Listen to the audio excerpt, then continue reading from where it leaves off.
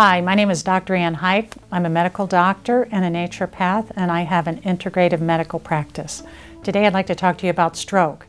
What is it? What can happen if it isn't treated? And what's the most effective treatment?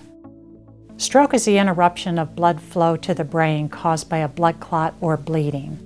This can result in bodily weakness or paralysis, the inability to speak, the inability to control bowel and or bladder, and the inability to think logically and clearly.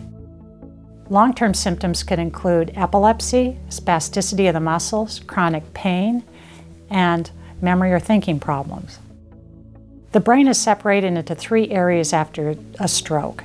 There's the unrecoverable damaged area, there's normal brain, and between these two areas is an area called the penumbra, which is a dormant area or a sleepy area that needs rehabilitation. The therapy that can penetrate into the penumbra and recover these partially damaged cells is hyperbaric oxygen.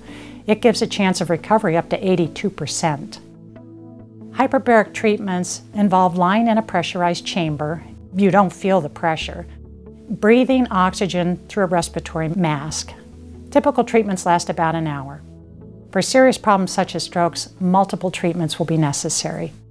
Hyperbaric oxygen can help improve sensation, language skills, and movement abilities, even if it's been years since the injury. It's best to start the therapy as soon as possible after a stroke. To prevent spasticity, start hyperbaric before three months have passed. Further enhancement of results occurs when physical therapy is combined with hyperbaric oxygen therapy. We offer hyperbaric oxygen at MettaHealthCare.